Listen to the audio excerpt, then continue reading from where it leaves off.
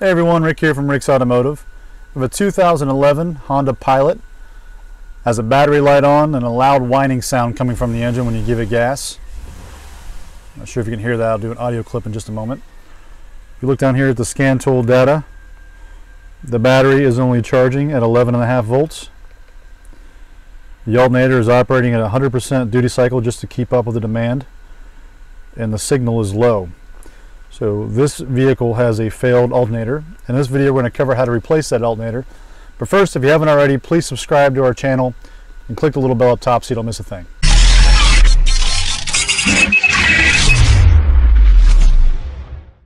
I'm going to go ahead and disconnect the negative battery terminal. You can see right here. Now you don't have to take this plastic piece off, it's in the way, but I'm going to just to make my life a little easier. You can do that one of two ways. You can use the proper tool, or you can just use a flathead screwdriver. Uh, just These clips just pop right up. This just comes right out. Before we make our way over to the alternator side of the car, we're going to take this top engine cover off, just so we start taking things off here, we have more room. These are real easy. Just use a flathead screwdriver, turn the tabs to where they're 12 and 6 o'clock, and just lift up, and it pops right out. I went ahead and put a fender cover on the passenger side of the vehicle just to protect the customer's paint because we will be leaning over this side of the car quite a bit because the alternator is tucked down and they're pretty good. Uh, we're going to start by removing the coolant reservoir, the bracket for the coolant reservoir, the power steering fluid reservoir, the bracket that houses the power steering reservoir, and this hose clamp. I went ahead and put a shop rag underneath this hose on the power steering pump when I pull this clamp off, this hose is full of power steering fluid, so it's going to leak down over the customer's engine. You don't want that. So what I have is, uh, you may not have this. This is just a cap uh, for a power for a brand new power steering pump. When these come from the factory, they have this cap on there. So I just happen to have an extra one laying around. So I'm going to pull this hose off and put this on as quickly as possible to prevent that fluid from coming out. I'm also going to keep this um, hose that goes to the power steering reservoir up higher than the actual inlet so it doesn't uh, leak out fluid as well. So I'm trying to prevent making a large mess here. Sometimes you just can't help it get messy, but I prefer not to if I don't have to. So you can already see there's fluid coming out of there.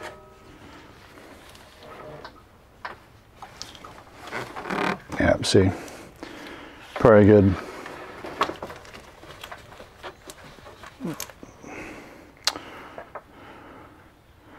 four or five ounces or so came out of there, but uh, most of it got caught up in the rag.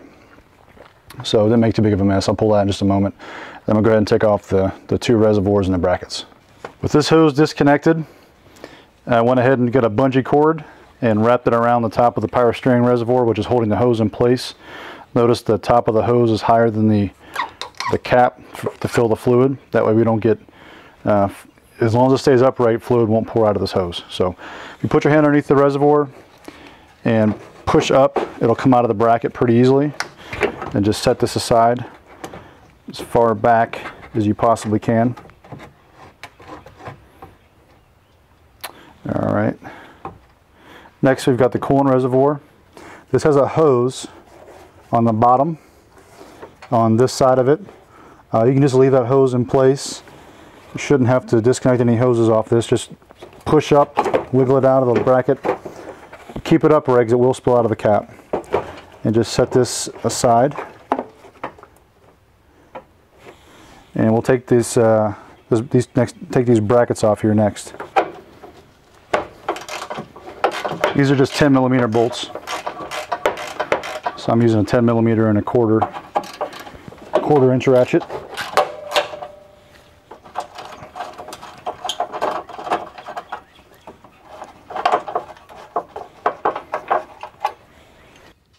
With the brackets removed, you can see much more room we have to work with in here.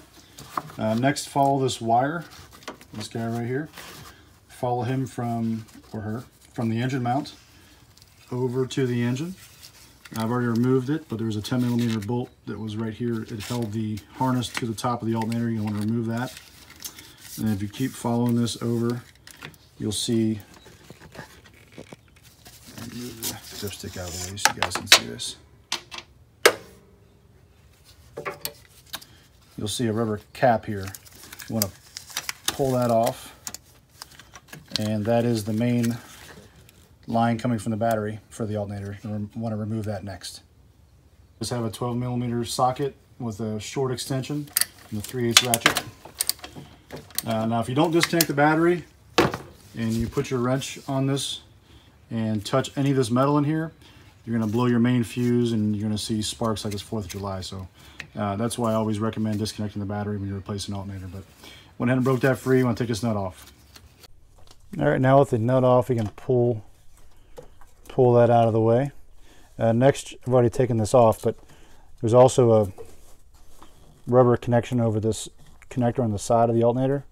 You're going to want to pull this back, It'll expose this blue connector, and just push that tab in here in the front. You have to push pretty hard sometimes.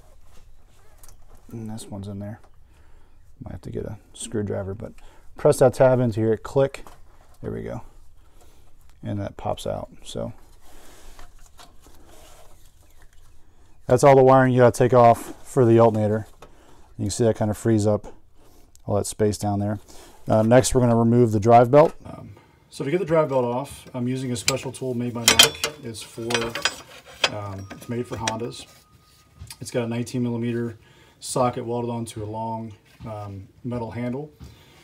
Uh, you're going to want to use this tool. If you don't have the tool, you can use a 19 millimeter socket on either a 3 8 or a half inch wrench with an extended handle because you are going to need some leverage. This thing is pretty pretty tough and if you don't have a lot of leverage it's going to hurt hurt the palm of your hand like crazy. So uh, also too you want to be careful you don't put too much force at once like you don't want to jerk um, the tool or the socket. You want to press slowly and allow your body weight to slowly press uh, depress the tensioner because this is aluminum. Um, the bolt we're putting this tool onto is aluminum. And if you're not careful, you'll crack that and it'll break it right off. So you're just gonna put some body weight on it. You'll feel it move slowly. It takes a few seconds to fully decompress and allow enough, enough slack to get the belt off.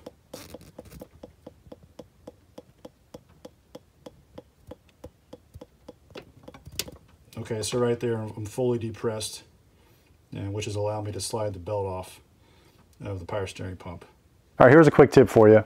Before you take the drive belt off, go ahead and snap a picture or draw a picture of how the belt is routed around the pulleys for when you go to put it back together. Now that the belt's off, this is a good time to take a look at the condition of the belt, check it for any wear or cracks.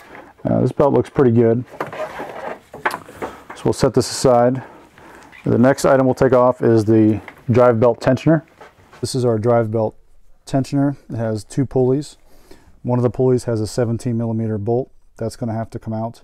There's also a 12 millimeter bolt below this, about four or five inches that goes into the block, which I'll show you when I get it out. I can't get my camera down there. Um, this was the 19 millimeter um, bolt we were using with our uh, with my wrench or your socket, however you use to get the drive belt off. This is the the nut we are using, so it's right next to that.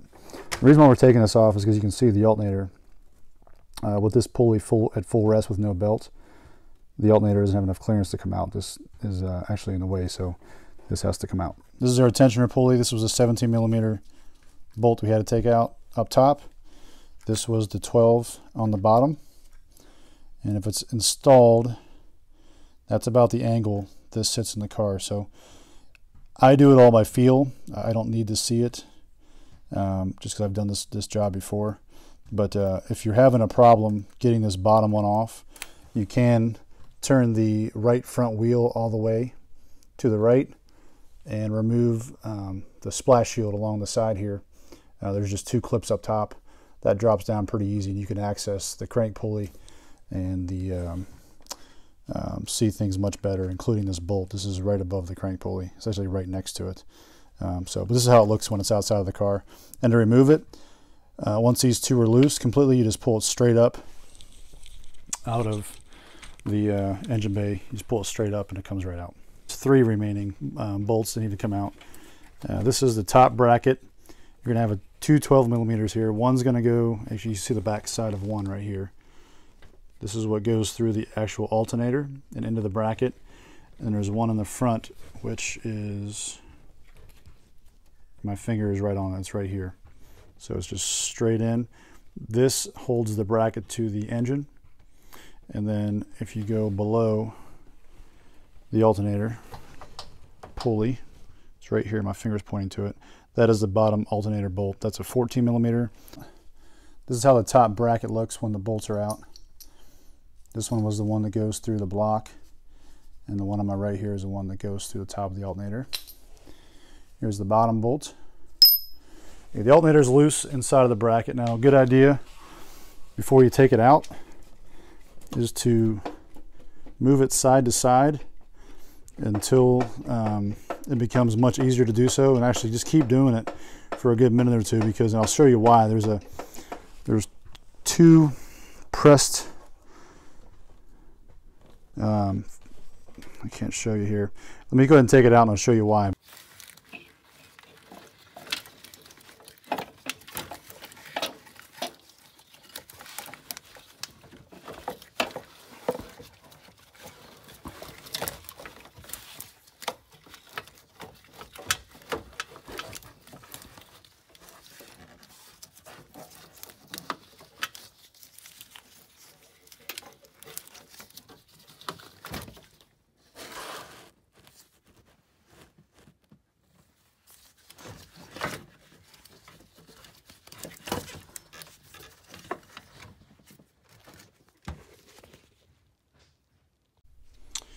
Got the old alternator out.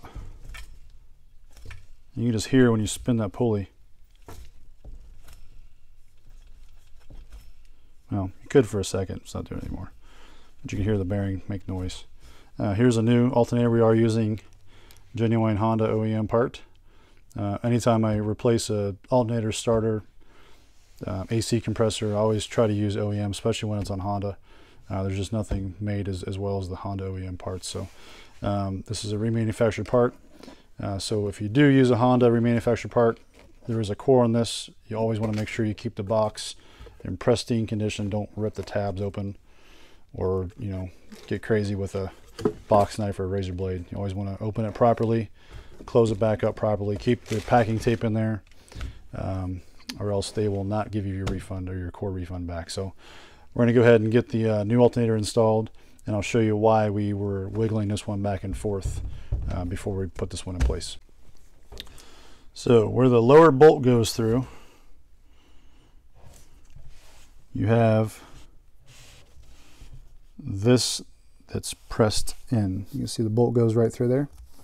This is the new alternator. The old alternator has the exact same thing. You can see there, bolt goes through there. So where this goes into the bracket, I'm going to show you there's also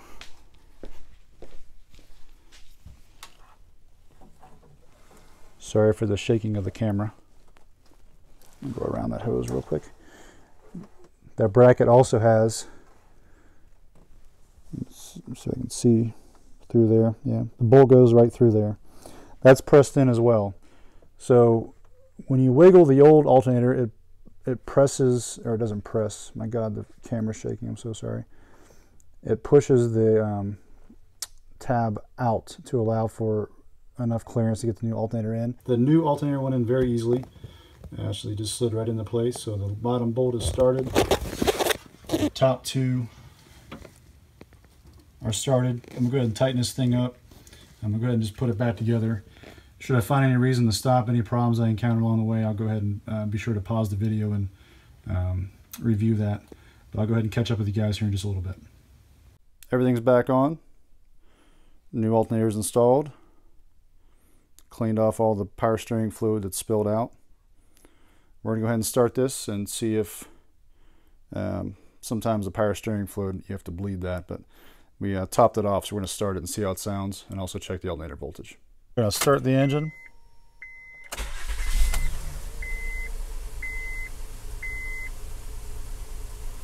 Battery light is off. come down to our scan tool here. Oh, so we lost connection. Let me try to reconnect.